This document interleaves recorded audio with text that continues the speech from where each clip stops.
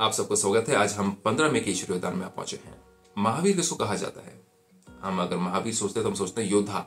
धनुष बाण हो गया, तलवार हो गई, या तो गन हो गई बॉम्ब हो गया, नहीं। हम युद्ध के मैदान की बात नहीं कर रहे हैं, जिसमें कि आप फ़िज़िकल चीज़ों के द्वारा किसी की, किसी को हानि पहुंचाते हैं या किसी की मृत्यु कर देते हैं आप। नहीं, यहाँ पे बात हो रही है अपने अंदर के डाउट की, अपने अंदर की नेगेटिविटी की, अपने अंदर के कंफ्यूजन को मारना, महावीर बन करके अपने अंदर की कमज़ोरी को मारना, अपने अंदर के अंधकार को खत्म करना, अपने अंदर के उजाले को जागृत करना, अपने दिए को जागृत करना, जलाना और अंधकार को बुझाना, उसके महावीर बनना। तो परमात्मा कहते हैं कि महावीर बन हर संकल्प को स्वरूप में लाने वाले, जो सोचा वो किया, वाले सदा विजयी सफलता मूर्त भवा। को आप जो संकल्प करते हो, बड़ा संकल्प करते हो छोटे छोटे संकल्प भी, बड़ा संकल्प करते हो, वो आपके लाइफ में प्रैक्टिकल होने शुरू हो जाए तो आपको महावीर कहा जाएगा जो भी विशेष संकल्प लेते हो, उसमें दृढ़ रहो। विशेष होना चाहिए, नहीं किसी की हानि पहुँचाने वाला संकल्प नहीं। उसमें महावीर नहीं बनना, कि मैं ये चतुराई करूँ तो उसको नीचे दिखाऊँ, या उसको गिरा के दिखाऊँ, या उसकी औकात दिखाऊँ, उसको मैं दिखाऊँ, वो कौन है, मैं कौन हूँ? ना, ये अभिमान, लोभ, क्रोध, अहंकार, इन चीज़ों को यूज़ करके महावीर नहीं बनना। ये महावीर नहीं कहना जाएगा, ये सबसे कमज़ोर इंसान होता है। ऐसे नहीं सोचो, देखेंगे, करेंगे गे गे करेंगे, कर लेंगे, हो जाएगा। करना अर्थात कमज़ोर बनना। करो, अभी के अभी। ऐसे कमज़ोर संकल्प करना अर्थात माया से हार खाना, क्योंकि हमारी चीज़ को पोस्टपोन कर देते हैं। कर लेंगे, देख लेंगे, हो जाएगा। नहीं, हुआ पड़ा है, हो रहा है, कर रहे हैं, अभी के अभी।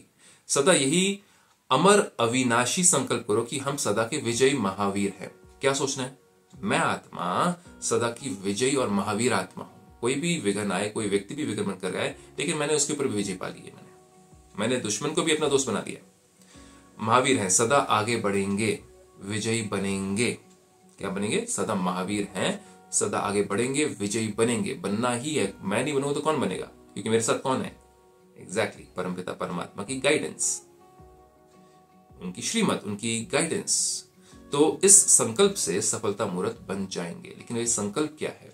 इसको आपको हर समय, हर क्षण, क्योंकि हर दिन, हर सेकंड हर घंटे परिस्थिति आती है। और हर सेकंड हर परिस्थिति में अगर आप सोचो क्या होगा हो ये क्यों होगा? ना, उस समय इमीडिएटली क्या, मैं महावीर आत्मा हूँ। ये हुआ पड़ा है। छोटे छोटे विघ्न आते हैं। ये पेपर टाइगर है। ये मेरे लिए मुझे आगे बढ़ाने के लिए सिचुएशंस आई हैं। मुझे और वाइज बनाने के लिए सिचुएशंस आई हैं। ये समझ करके आगे बढ़े तो कितना सुंदर जीवन हो जाएगा। उसको कहते हैं महावीर, जो कि अंदर की कमजोरियों को अपने ही संकल्पों से संकल्पों को काटते हैं। संकल्प से संकल्प को काटना तो जो ज़्यादा संकल्प करेगा पॉजिटिव वो नेगेटिव संकल्प दब जाएगा।